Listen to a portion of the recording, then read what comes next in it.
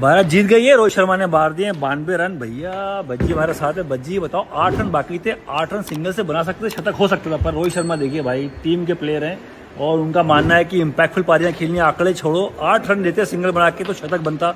आप बहुत खेले उनके साथ कैसी पारी लगी आपको? ज़बरदस्त पारी कैफू एक ऐसी पारी जो मतलब बाकियों को भी प्रेरित कर गई टीम के सारे खिलाड़ियों को कि अपने लिए नहीं खेलना है टीम हाँ। के लिए खेलना है और जो बंदा टीम के लिए खेलता है वो मैच जिताता है टूर्नामेंट जिताता है और रोहित शर्मा की ये पारी ना मेरे लिए सबसे यादगार पल वो थे जब वो सब बात कर रहे थे कि यार लेफ़्ट आर्म सीमर को हाँ, हो रहे हैं कितनी बार आउट हो रहे हैं और आज स्टार्क को याड़े हाथों लिया और चार 29 छक्के जड़ दिए कमाल कर दी।